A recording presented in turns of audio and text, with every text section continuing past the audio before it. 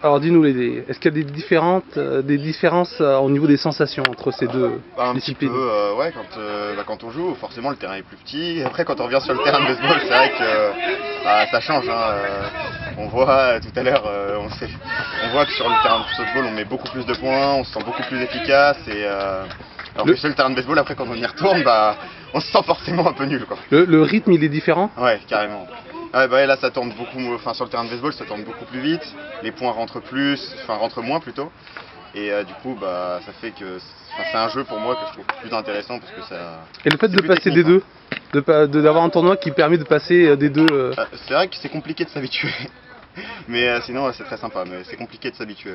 C'est vrai que quand on voit la grosse balle et qu'après on doit retourner sur la balle, spécialement quand on lance, c'est compliqué. ouais et à la, à la batte aussi après À la batte, de ouais, changer de. Ouais. dimension Ouais, c'est vrai en plus, surtout que ça va beaucoup plus vite euh, en baseball, euh, notamment avec eux là, avec Evry.